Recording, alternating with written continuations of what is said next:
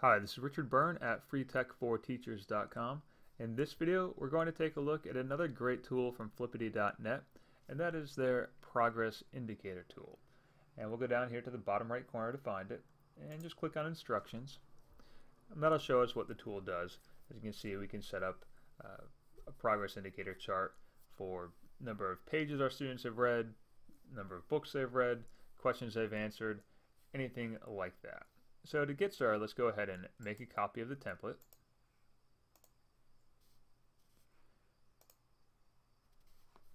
And you can see I'm signed into my Google account. And now we have the template here for us to use. And we can go in and change the names if we want to.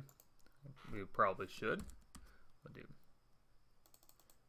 Max, Morrison, and if we need to add more names, we can certainly do so down at the bottom. Right. Now let's set up our goals for what we're tracking here. So we can say we want all the students to read 500 pages. So we'll change all those units to 500.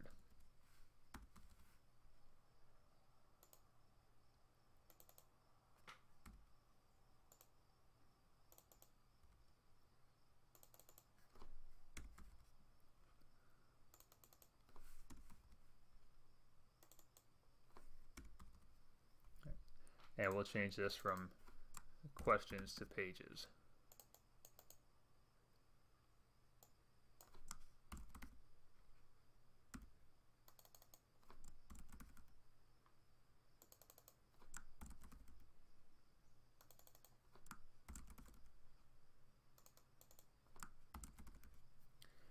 Then we can put in different colors for each student here. If you leave it blank, it'll just be a gray bar. I'll do green again. And I'll use blue down there. Okay. And now in terms of progress, we can fill in any number we want here. Let's say Richard has read 100 pages. All right, so I've made my copy. Now I'm going to go and hit the File menu and hit Publish to the Web. And now grab this link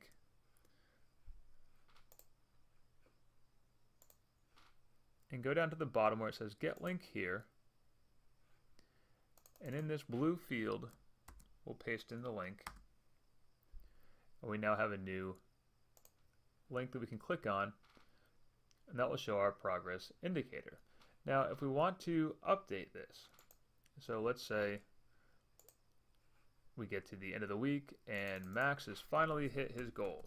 So we can hit fill that in and Morrison's reached his goal and Madeline's made a little bit more progress. Maybe she's up to 200 pages now. We can now just go and refresh this. And we'll see Max and Morrison now have check marks because they have reached their goals. So that's the Flippity.net progress indicator.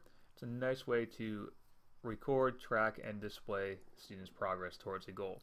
And for more tips and tricks like this, please check out freetech4teachers.com.